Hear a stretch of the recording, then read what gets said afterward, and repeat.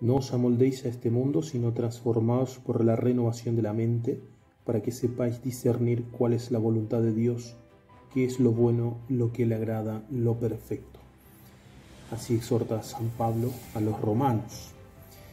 Y creo que estamos de acuerdo, todos estamos de acuerdo en que no queremos amoldarnos a este mundo, a los criterios del mundo, sino que queremos amoldarnos a los criterios del Evangelio, a los criterios de, Cristo.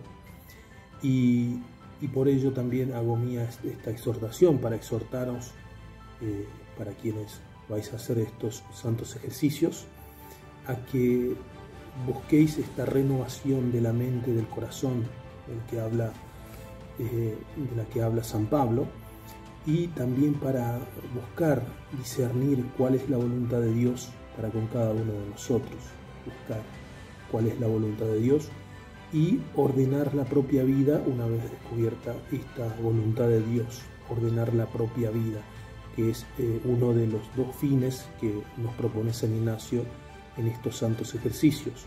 El primero es el vencerse a sí mismo y el segundo es el ordenar la propia vida. Comprometo mis oraciones por los frutos de estos santos ejercicios con mucho ánimo, con mucha generosidad. Adelante.